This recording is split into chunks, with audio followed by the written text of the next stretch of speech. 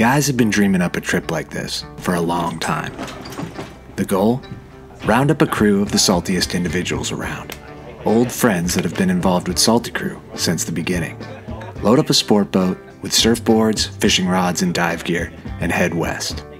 Letting the Pacific Ocean call the shots. Chasing waves and fish across the Southern California Bight and surrounding islands. Finding refuge in the sea. Now let's meet the crew. Brandon Wahlers, the unassuming underwater wild man, spearfishing icon and captain in the Merchant Marines. Next up, Duane Diego, a rare combination of a loose cannon and a sharpshooter, and is the unofficial face of fishing on the West Coast. John the Captain. He's quiet, humble, and harboring more sea stories than you could imagine, if you can pry them out of him. Lucas Dirkse, the pocket knife, a surfer, fisherman, and craftsman. If he's not in the water, he's probably covered in foam dust or fiberglass. Sam Weisman, spear fisherman, surfer, captain, overall maritime asset.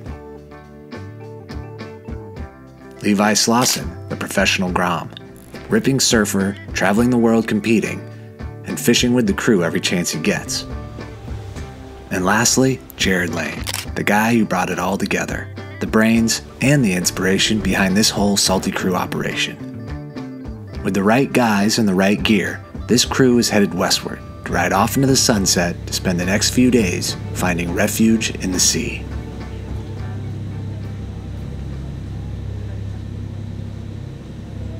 Up at the crack, the crew was still climbing out of their bunks, but Jared was already in the water looking to catch a few at the mysto little wave they spotted.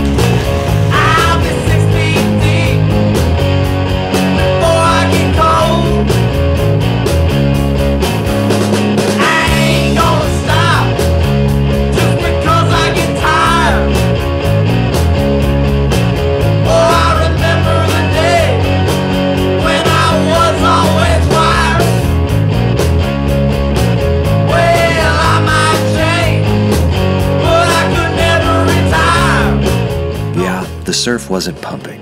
But let's be honest, anytime you get to paddle from a boat to go surf, you can count that as an epic session.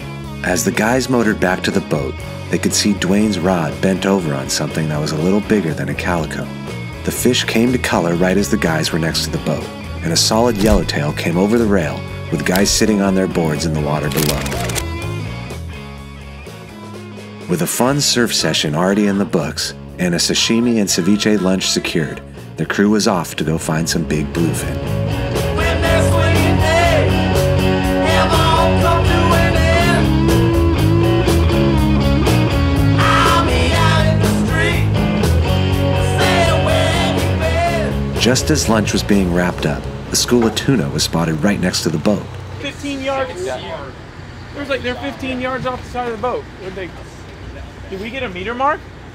Was it a big school or like a bull pack cruiser? That was like is that it over there? Like 50 or 100 fish. Right there. Yep, right there.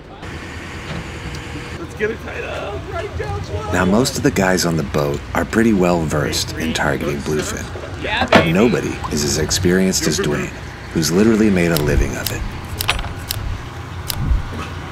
And this little contraption he's rigging up right here has made business very good. They're coming right at us.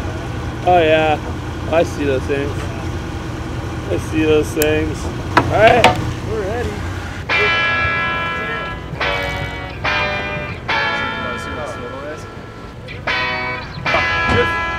Let's get it out like 60 yards and bump it over there.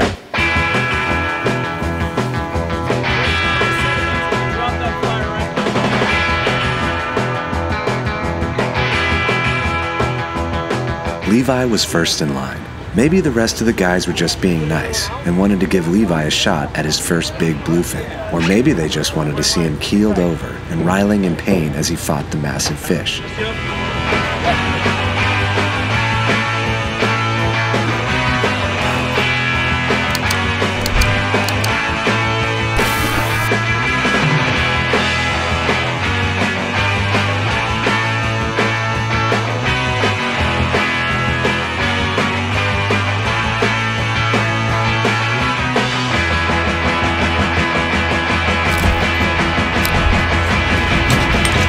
This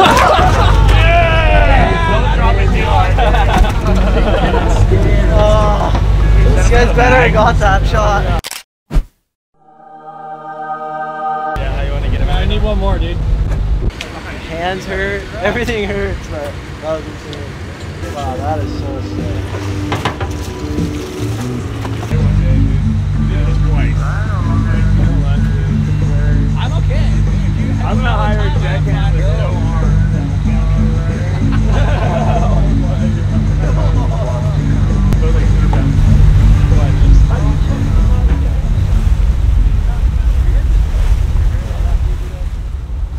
tuna in their bellies, the boys had a rough night of sleep with tuna in their dreams and woke up to sporty weather in the morning with tuna on their minds. So they rigged up another flyer in hopes of getting another big bluefin on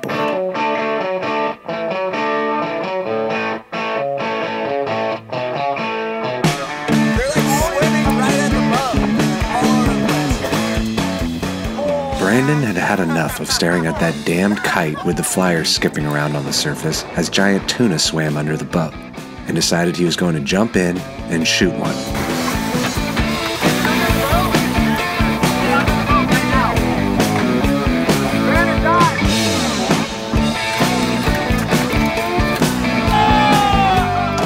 That was quick.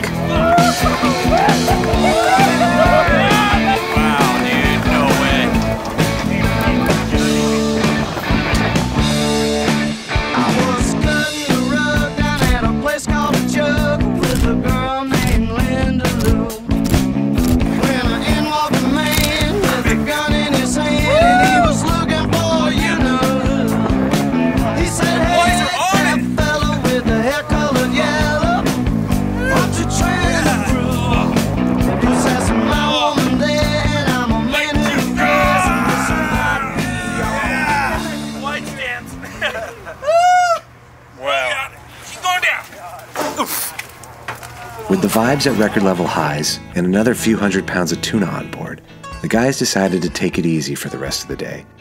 Hit the fillet tables, care for their catch, and prepare for a sushi party that night on board.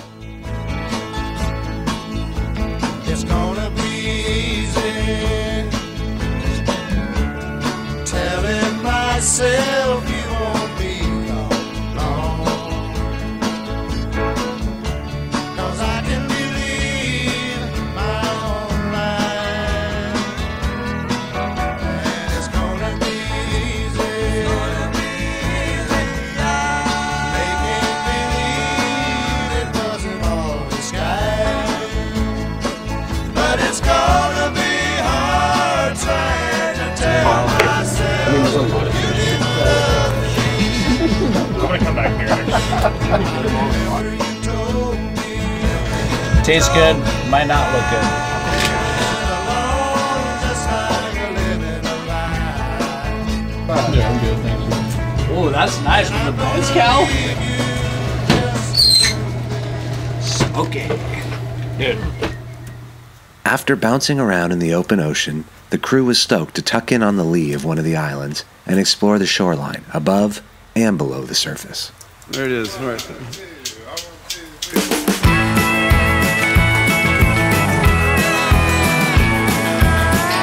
Well, I've been spending all my money on weed and pills, trying to write a song that'll pay the bills, but it ain't came yet. So I guess I'll have to rob a bank. I guess it could be worse. It ain't that bad. At least I ain't sitting in no Baghdad in the middle of a hot damn desert, sitting in a tank. Well, every time the wife talks, baby gets mentioned. I'm so broke I can't pay attention. Lord, how it tears me up to see her cry. Oh, I've been spending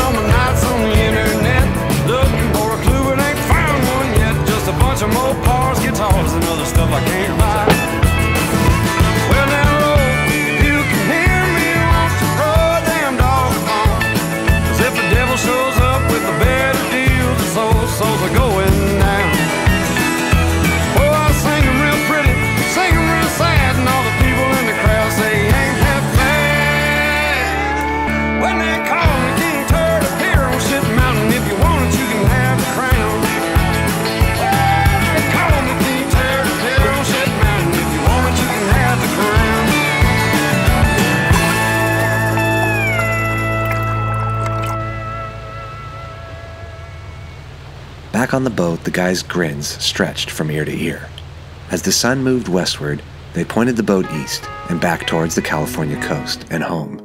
But the trip wasn't over. The plan was to paddy hop the whole way back and see if they couldn't find a few Dorado to round out the table fare.